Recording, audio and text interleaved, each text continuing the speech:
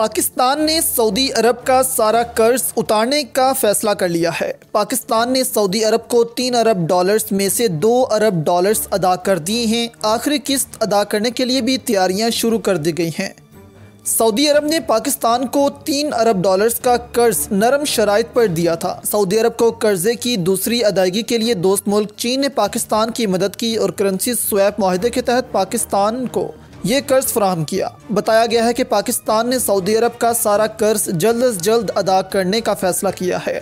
इस हमत अमली के तहत सऊदी अरब को आखिरी किस्त की अदायगी के लिए भी कोशिशों का आगाज़ कर दिया गया है। पाकिस्तान आइंदा माह सऊदी अरब को कर्जे की तीसरी किस्त अदा कर देगा। पाकिस्तान को कर्जे की दूसरी किस्त इकतीस दिसंबर से कबल वापस करना थी, ताहम वक्त से कबल ही कर्ज अदा कर दिया गया। अब पाकिस्तान के ज़िम्मे सऊदी अरब का एक अरब डॉलर्स का कर्ज वाजिबुल अदा है, जिसके अगले साल जनवरी में वापस किया जाएगा। पाकिस्तान ने सऊदी अरब से तीन अरब डॉलर्स दो साल कबल कर्जा लिया था। पाकिस्तान ने आलमी कर्जों की अदायगी में डिफ़ॉल्ट कर जाने के डर से सऊदी अरब को एक अरब डॉलर्स का कर्जा रवा साल अगस्त में वापस किया। सऊदी अरब ने पाकिस्तान को अक्टूबर 2018 में तीन साल के लिए छः इशारिया दो अरब डॉलर्स का मालियाती पैकेज देने का ऐलान किया था। जबकि अब पाकिस्तान चाहता है कि पाकिस्तान जल्द से जल्द सऊदी अरब का सारा कर्ज वापस करते